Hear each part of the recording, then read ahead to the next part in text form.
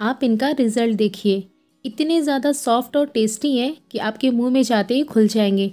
और आपने एक बार इस दही भल्ले को ट्राई किया ना तो आप इसके दीवाने हो जाएँगे। Hey guys welcome back to my channel कैसे हैं आप सब? आई होप कि आप सब अच्छे होंगे। और आज मैं आप लोगों के साथ शेयर करने जा रही हूँ सॉफ्ट दही भल्ले की रेसिपी तो चलिए स्टार्ट करते हैं इसे बनाना। यहाँ पर मैंने एक कप उड़द की दाल और दो कप मूंग की दाल को चार घंटे के लिए पानी में भिगो कर रखा था, जो मैं रिकॉर्ड करना भूल गई। बट कोई नहीं, आपको टू इस टू वन का रेशियो रखना है। मतलब एक कटोरी अगर आप उड़द दाल ले रहे हैं तो दो कटोरी आपको मूंग की दाल लेनी है। इसे हम अच्छे से वॉश कर लेंगे और भिगो के रख देंगे। इसके बाद हम इसे डाल देंगे मिक्सिंग जार में और आपको पानी ज़्यादा नहीं डालना है। बहुत ही कम पानी यूज़ करके इसे आपको पीसना है। तो ये देखिए, मैं इसमें सिर्फ़ दो बड़े चम्मच पानी डाल रही हूँ। अब हम इसे अच्छे से पीस लेंगे। बिल्कुल फाइन पेस्ट इसका बना लेना है। और इसके बाद हम इसे किसी बड़ी सी प्लेट में ट्रांसफ़र कर लेंगे। बड़ी सी प्लेट में थोड़ा इजी हो जाएगा इसे फेंटने में। तो ये देखिए, मैंने इसे पीस लिया है। ये देखिए, बिल्कुल फाइन पेस्ट इसका मैंने बनाया है। और बहुत ज़्यादा पतला भी नहीं है, आप देख सकते हैं इस बैटर को। अब हम इसमें कुछ चीज़ें ऐड करेंगे। तो सबसे पहले हम इसमें ऐड कर देंगे एक छोटा चम्मच ज़ीरा।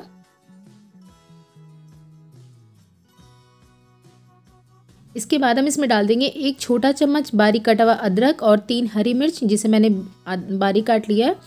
इसे डाल के अब हमें इसे अच्छे से फेंटना है, इसे एक ही डायरेक्शन में हमें फेंटना है। अभी आप देख सकते हो कि किस तरह से गीली सी दाल है, थोड़ी लूज़ है, किस तरह से गिर रही है। और इसका कलर भी अभी क्रीम कलर है और जैसे जैसे हम इसे फेंटेंगे, ये पूरा वाइट हो जाएगा और लाइट और फ्लफ़ी हो जाएगा। तो इसे एक ही डायरेक्शन में आपको फेंटना है। इसके लिए आपको विस्कर का यूज़ नहीं करना। आप देख सकते हो कि यहाँ पे दाल को मैंने दस मिनट के लिए फेंटा था। ये देखिए, दस मिनट हो गया इसे फेंटते हुए आप देख सकते हैं कि हाथ से ये नहीं गिर रही है। अब काफ़ी फ्लफ़ी हो गया है। और इसका जो कलर है वो भी पूरा वाइट हो चुका है। और इसे चेक करने के लिए आप किसी कटोरी या फिर गिलास में पानी ले लें और इसमें थोड़ा सा बैटर डालें। अगर ये इस तरह से फ्लोट कर रहा है तो समझिए आपने बिल्कुल परफेक्ट दाल फेंटा है।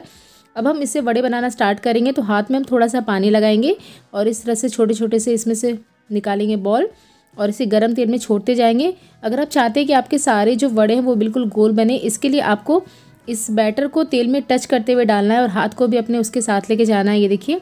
तेल में टच करते हुए आपको डालना है इसे।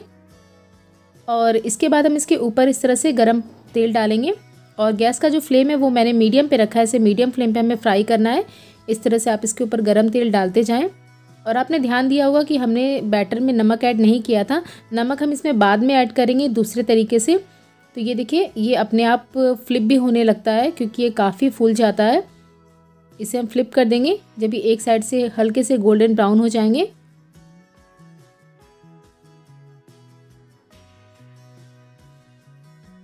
इसे हम लाइट गोल्डन होने तक फ्राई करेंगे। तो ये देखिए, यहाँ पर बड़ों के ऊपर बहुत ही प्यारा कलर आ गया तो इसे हम बाहर निकालेंगे।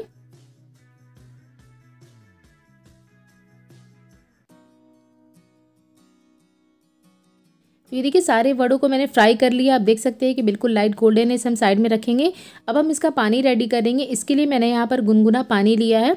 आपको बहुत ज़्यादा गर्म पानी नहीं लेना है, गुनगुना पानी लेना है। इसमें हम डालेंगे एक चम्मच नमक। और आधा छोटा चम्मच ऐड करेंगे हींग, इसे अच्छे से मिक्स करेंगे। इसी पानी के थ्रू हम वड़ों में नमक ऐड करेंगे। आपको जितने भी दही वड़े बनाने हैं, आप उतने वड़े इसमें पानी में डालें और बाकी का जो है, वो आप उसको जिप लॉक बैग में बंद करके फ्रिज में स्टोर कर सकते हैं।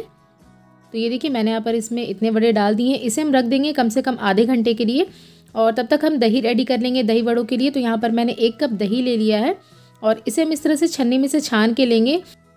ऐसा करने से जो दही है वो बिल्कुल स्मूथ हो जाएगी, जैसा कि हलवाइयों का होता है। आपको इसे ब्लेंडर में या फिर मिक्सर में बिल्कुल भी नहीं करना है, वरना पूरा टेक्सचर ख़राब हो जाएगा दही का। आपको इसी तरह से इसे छन्नी से या फिर किसी मलमल के कपड़े से स्ट्रेन करना है। उससे बिल्कुल स्मूथ दही रेडी होती है। तो इसमें हम डाल देंगे डेढ़ छोटे चम्मच पिसी हुई चीनी और नमक ऐड कर देंगे टेस्ट के अकॉर्डिंग इसे अच्छे से मिक्स करेंगे। और यहाँ पर जो दही है वो काफ़ी थिक है तो इसकी कंसिस्टेंसी को एडजस्ट करने के लिए हम इसमें थोड़ा सा पानी ऐड करेंगे, जिससे कि जो दही है वो थोड़ी फ्लोइंग कंसिस्टेंसी में आ जाए। पोरिंग कंसिस्टेंसी में, ये देखिए, बिल्कुल परफेक्ट है ये। तो इसे हम रख देंगे साइड में। और यहाँ पर भल्लो को पानी में सोख किए हुए 20 मिनट हो चुके हैं और आप देख सकते हैं कि अपने साइज़ में डबल हो चुके हैं। पानी इन्होंने अच्छे से सोख कर लिया है। इसी से पता चलता है कि ये कितने ज़्यादा सॉफ्ट है। अब इसमें से हम थोड़ा थोड़ा सा पानी निचोड़ के निकालेंगे। आपको पूरा पानी इसमें से नहीं निकालना है। अगर आप इसमें से पूरा पानी निचोड़ेंगे तो इनका जो शेप है वो बिगड़ जाएगा। साथ ही साथ हमने जो पानी के थ्रू इसमें नमक ऐड किया है, वो भी निकल जाएगा पूरा। तो इसमें से पूरा पानी नहीं निकालना, बस हल्का हल्का सा इसे आपको निचोड़ना है। ये देखिए, इस तरीके से। अब हम इसे किसी प्लेट पर अरेंज कर लेंगे। इसके बाद हम इसके ऊपर डाल देंगे दही, जो हमने रेडी करके रखा था।